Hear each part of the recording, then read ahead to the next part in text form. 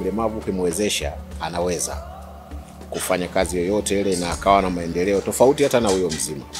Kwa hiyo hao watu ambao wanaweza kukaa mtaani wana viungo vizima alafu hawawezi kufanya kazi uh, inakuwa si jambo jema. Kila ukijituma basi utaonekana mafanikio yako. Na hao watu wenye ulemavu wanaosema kwamba hawawezi kufanya kazi, kazi zipo, wajitahidi, alimradi mikono ipo, utapata unachokiweza kukaa kuliko kukaa barabarani na kuomba.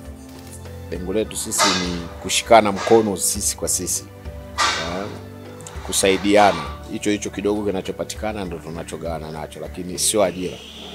Eh, kwa hiyo mlemavu yeyote yule ambaye anaona kama kweli anahitaji kikweli, sio kimasahara kwamba watu wanakuja kufanya jogging, tunamkaribisha.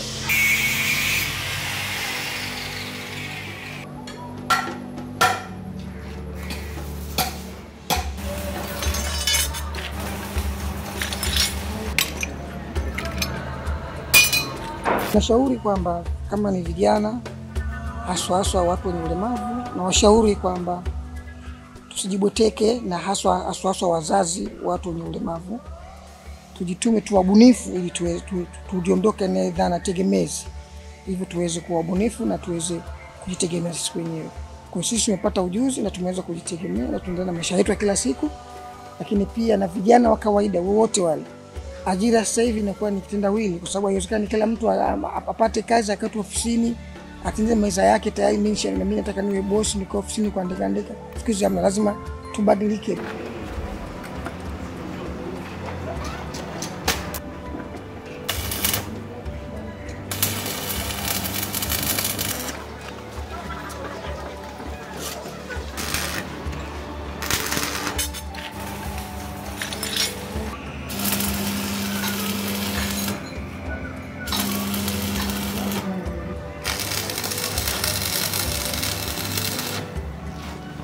Sasa hivi mtaani kuna vinyago vingi sana vya mbao, kwa hiyo miti inakwisha, matunda hatupati kwa wakati, vivuli tunakosa.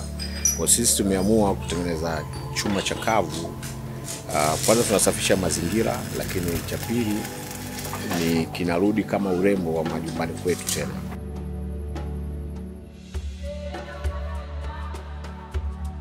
Papani wa Slipway. ya Kwa hiyo hapa ni sehemu ni center na kuna mkusanyiko wa watu wengi sana ndani ya nchi ndani ya nchi na nje ya nchi wanapatikana maeneo kama haya. Wakati mwingine wanakuja viongozi mbalimbali, kwa mfano kama balozi wanapita hapa, tuna- tunakutana tunajadiliana nao. Sasa balozi atoke hapa aende labda akidugwa kweli inakuwa ni ngumu sana kueleza jambo kama hilo, au labda Kilungule eh, kwa kweli sidhani kama inawezekana.